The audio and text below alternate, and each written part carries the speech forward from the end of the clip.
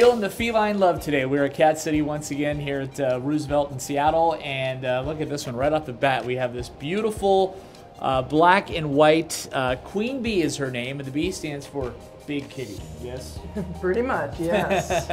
Tell us a little bit about Queen Bee. so she's about nine years old and just shy of 24 pounds, which is definitely not good for you.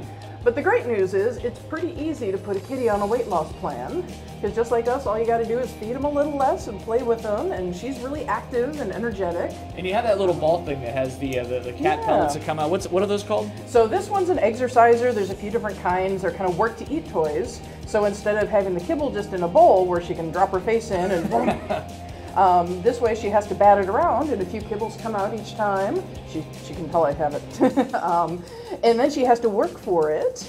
And it keeps, it's kind of more fun for her. So it keeps her mind engaged too. And she's working. Yeah, she's like, I know what that is. So there it is, also known as a little ball thing. Check it out if you have a fat kitty like I do. I think I'm gonna grab one of those things to take home today. Uh, Queen Bee, looking for that forever home.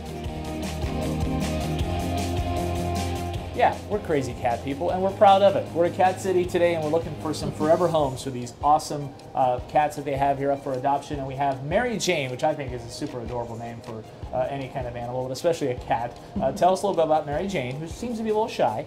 She is a little shy. She's about six years old, and like a lot of humans, she has a heart murmur. Um, but a lot of times that doesn't affect anything. She's just a little shy, but she loves a good cheek rub, and uh, she's going to be a sweet, affectionate lady when she's not so scared.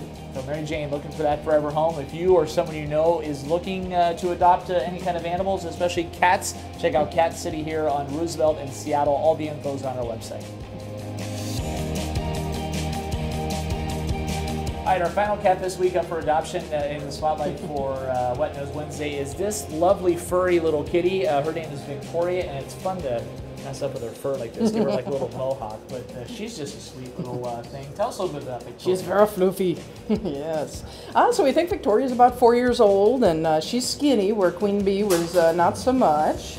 So she could stand a little meat on her bones. I don't think we know too much yet about her. She's pretty new here, um, but so far so good. We get to uh, know more about all kinds of animals uh, with Paws, and especially uh, Cat City here, if you're looking to adopt any cats. Uh, details, pictures, bios, and whatnot, everything's on our website. And uh, thanks to our uh, friends at Paws as well. People helping animals. Uh, check out their website, paws.org, for details. Thank you so much for adopting out all these awesome cats for Wet Nose Wednesday. We appreciate everything you've done for us so far, and let's keep that train rolling. ハハハハ!